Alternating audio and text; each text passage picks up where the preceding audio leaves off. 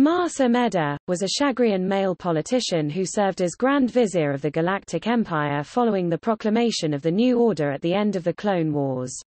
During the Republic era, Amedda served as Vice Chair of the Galactic Senate from the Chancellery of Finis Valorum to his successor, Sheev Palpatine.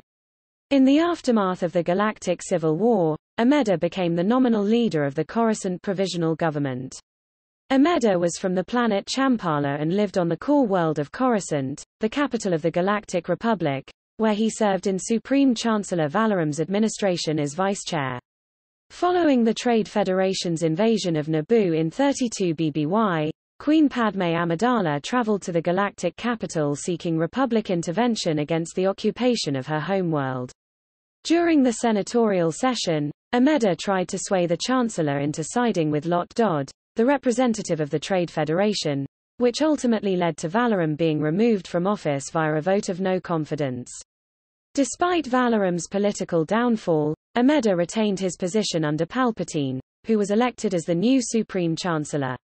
One of the few in the galaxy privy to the knowledge of Palpatine's true identity as Darth Sidious, Amedda served as one of his advisors amidst the burgeoning separatist crisis. In 22 BBY, Amedda duped junior Representative Jar Jar Binks into proposing a motion to the Senate that would give the Chancellor executive emergency powers.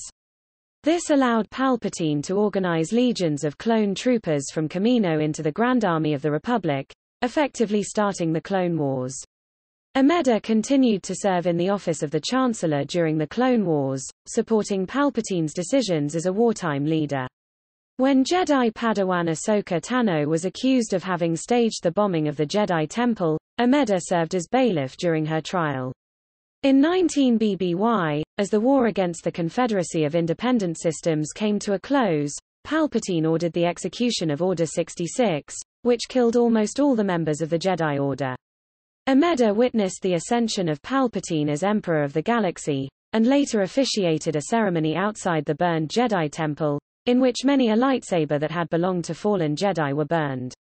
Amedda retained his power in the New Order, serving as Grand Vizier in the Imperial Ruling Council. After the Emperor was killed in 4 ABY, Amedda was forced to serve as a figurehead for Fleet Admiral Gallius Rax, the self-styled counselor to the Empire. Following the Battle of Jakku in 5 ABY, Amedda surrendered the Empire to the New Republic by signing the Galactic Concordance. The imperial government on Coruscant was replaced by a powerless provisional government with Amedda as its nominal leader. Amedda was remembered by history as a weak-willed sycophant of the emperor.